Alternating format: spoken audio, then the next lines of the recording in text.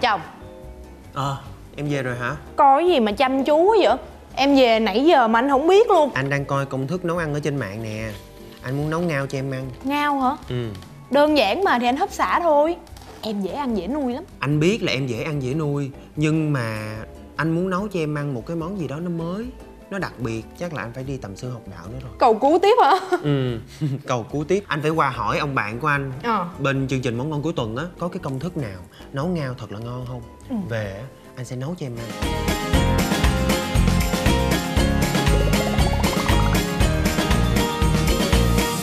Ryan xin gửi lời chào đến quý vị khán giả đang xem chương trình Món ngon cuối tuần. À, hôm nay Ryan cũng rất là vui khi được đến đây để chia sẻ với quý vị những món ăn ngon. Đồng thời quý vị đừng quên khung giờ phát sóng của chương trình sẽ vào các ngày thứ sáu, thứ bảy, chủ nhật hàng tuần vào lúc 11 giờ 50 trên kênh truyền hình Vĩnh Long 1. Và ngày hôm nay người sẽ cùng đồng hành với Ryan trong gian bếp này đó là diễn viên Đỗ Phú Quý. Em xin chào anh Ryan và xin chào tất cả các khán giả của Món Ngon cuối tuần Ngày hôm nay Quý rất vui khi được gặp lại anh Ryan và được gặp lại tất cả quý vị khán giả Thì hôm nay em qua đây để nhờ anh uh, giúp cho em có thể biết được cái cách mà nấu ngao ngon nhất Để mà về em nấu cho gia đình em ăn Chắc chắn là mỗi lần đến với ờ, gian bếp món ngon cuối tuần thì ờ, sẽ không bao giờ khiến cho Đỗ Phú Quý phải thất vọng đúng không? Dạ đúng Và hôm nay cũng vậy, Ryan à, muốn tặng đến quý vị khán giả và Đỗ Phú Quý một món ăn cũng kết hợp với lại à, nguyên liệu ngao. Món ăn này có tên là canh ngao nấu đậu hũ. Bây giờ Ryan và Phú Quý sẽ bắt tay vào chế biến.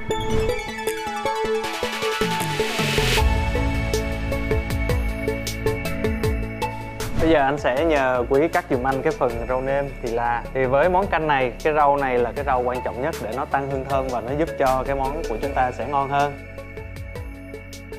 Bây giờ anh sẽ cho vào nồi một ít dầu ăn Món canh này à, sẽ mất của chúng ta khoảng chừng 12 cho tới 15 phút nha quý vị Và với nguyên liệu chính là ngao ngày hôm nay à, Khi chúng ta mua về, chúng ta sơ chế, chúng ta ngâm với lại một ít à, nước cốt chanh nè, nước lọc rồi một ít muối, một ít đầu hành và một ít ớt hiểm đập dập à, để cho ngao nó nhả cái phần cát ra. Bây giờ dầu nóng rồi mình sẽ cho à, tỏi và hành tím vào xào cho thơm.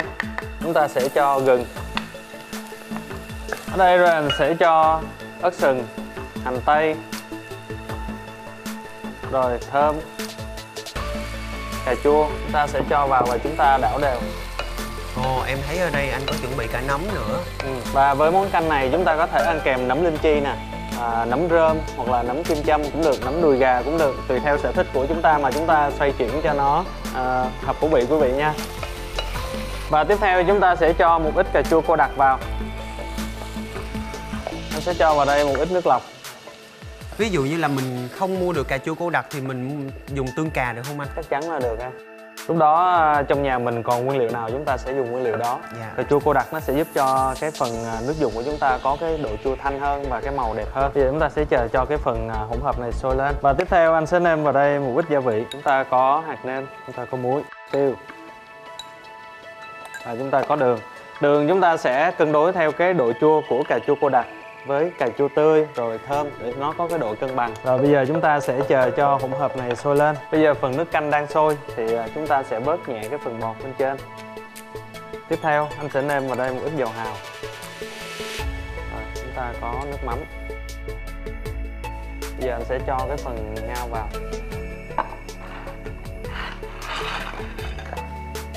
Tiếp theo, anh sẽ cho cái phần à, đậu hũ vào. Sau cùng anh sẽ cho những cái phần nấm nè, cà chua, rồi hành tây vào. Rau thì là anh cho vào một ít trước, chút xíu nữa ra món chúng ta sẽ cho vào thêm. Anh rắc trước một ít tỏi phi. Và bây giờ chúng ta sẽ chờ cho cái hỗn hợp này sôi lên khoảng từ 5 cho tới 7 phút. Sau đó chúng ta sẽ ra món và thưởng thức nha quý vị. Và món canh ngao nấu đồ hũ của chúng ta đã hoàn thành. Bây giờ Ryan và Phú Quý sẽ sang bên kia để chúng ta cùng thưởng thức nha quý vị.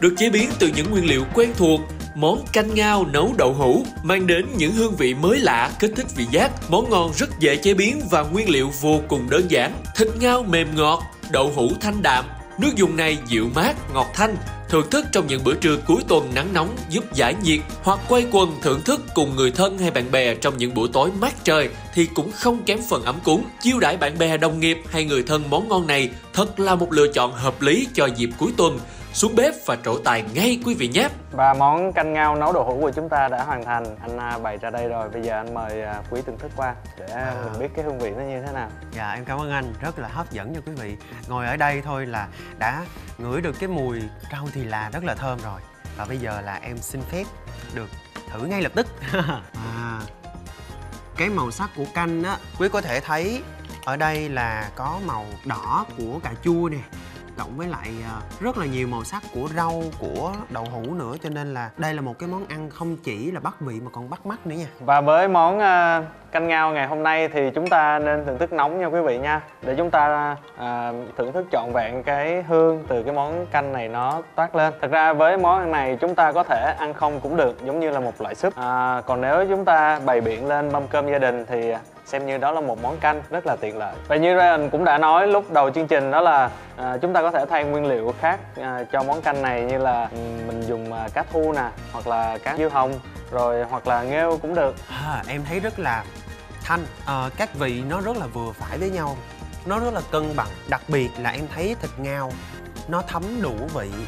Và về phần cà chua vì anh đã xào trước với lại gia vị, cho nên là cà chua không chỉ là một vị của cà chua ờ, bình thường đâu, mà nó đậm đà cái kiểu là mình đã tẩm ướp gia vị kỹ càng. Thật sự 10 trên 10 đối với em. Và quý vị ơi, quý vị phải thực hiện cái món canh này cho tất cả những người thân trong gia đình của mình. Bởi vì quý tin chắc là món canh này sẽ giúp gắn kết tình yêu thương của tất cả những thành viên trong gia đình lại với nhau Ryan cũng uh, hy vọng rằng đây là một món ăn uh, sẽ là một món quà nhỏ để dành cho quý và quý vị khán giả đang xem chương trình. uh, chúng ta có thêm một cái uh, à, sự lựa chọn mới cho gia đình của mình vào những dịp cuối tuần hoặc là những bữa cơm gia đình quý vị nhé. Và xin chúc quý vị làm thành công món canh ngao nấu đồ hũ này tại nhà. Và đến đây thì thời lượng chương trình cũng đã hết. Quý vị đừng quên khung giờ phát sóng của chương trình sẽ được phát sóng vào các ngày thứ sáu, thứ bảy, chủ nhật hàng tuần vào lúc 11 giờ 50 trên kênh truyền hình Vĩnh Long 1. Và bây giờ Ryan cùng Phú Quý xin gửi lời chào và hẹn gặp lại.